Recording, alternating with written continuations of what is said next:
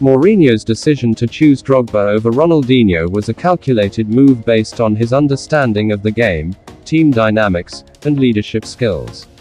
It highlights the importance of having a clear vision and strategy in football management and is a prime example of what makes Mourinho one of the greatest football managers of all time. Furthermore, Mourinho's decision was not solely based on talent alone. He also considered the team dynamics and the role that Drogba would play in the squad.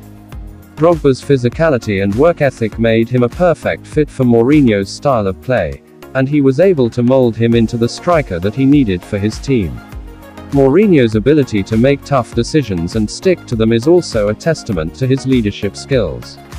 He knew that choosing Drogba over Ronaldinho would not be a popular decision, but he believed in his choice and was willing to stand by it. This decision also highlights the importance of having a clear vision and strategy in football management.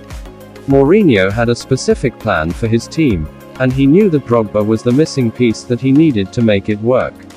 By sticking to his plan, he was able to achieve success with Chelsea. Overall, Mourinho's decision to choose Drogba over Ronaldinho was not just a stroke of luck or a gamble.